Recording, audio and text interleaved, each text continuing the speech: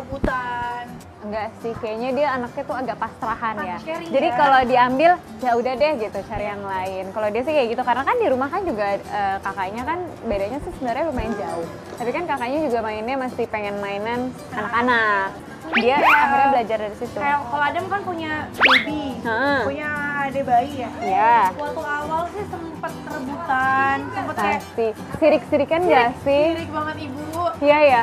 Tapi kayaknya kalau memang anak yang baru punya adik kayak biasa seperti kayak gitu. itu deh. Ya Paling nggak ya, sih? palingnya kayak tips aku nih buat di rumah kalau misalnya punya anak kayak nih, Mm-mm. eh, Jaraknya dekat. 11 lah, jaraknya deket mungkin tetap fokus perhatiannya ke kakaknya.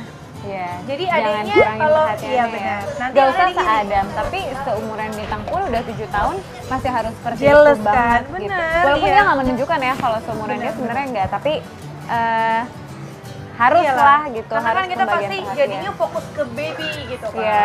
Masukin deh, masukin deh. Kakak Adam, masukin bolanya ke sini. Cepet, cepet, cepet. Tuh, Cepet, cepet, cepet.